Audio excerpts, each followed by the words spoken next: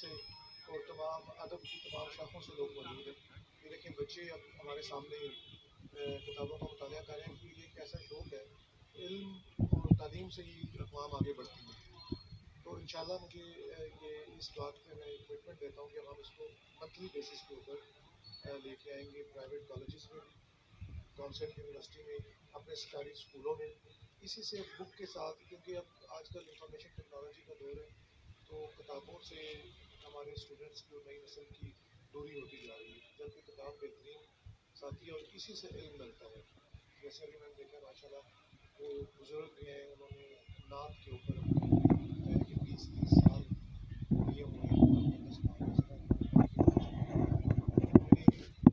آہستہ آہستہ ان شاء اللہ ہم یہاں لائبریریز کا انتظام شدہ ہے اسے جو ہے کنٹریبیوٹرس ان کو بلوائیں گے اور پہلے بھی میں ان شاء اللہ اس کی کوشش کر رہا ہوں کہ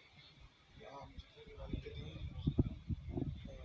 لائبریریز ہیں ان کو اسٹور کریں جیسے کھڑ گئی ہے وہ میری نیشنل کیپیبلٹی کے ساتھ بات چیت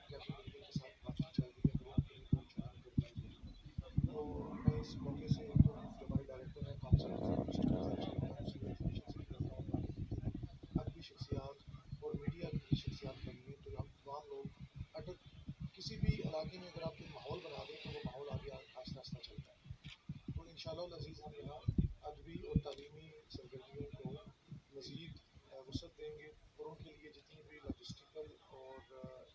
اخراجات ہوں گے وہ ہم ضروری